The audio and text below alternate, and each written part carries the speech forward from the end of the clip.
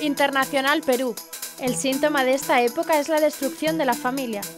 El arzobispo de Lima y primado del Perú, el cardenal Juan Luis Cipriani, denunció que el principal síntoma de la época actual corresponde al intento de destruir la familia.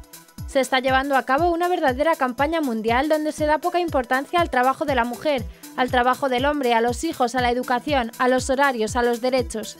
El cardenal enfatizó en la necesidad de que la familia tenga mayor importancia y se revalorice. No quiero atacar ni maltratar a nadie, pero ¿cómo es posible que en lugar de fortalecer a la familia, estamos discutiendo sobre todos los géneros, grupos, divisiones, alternativas?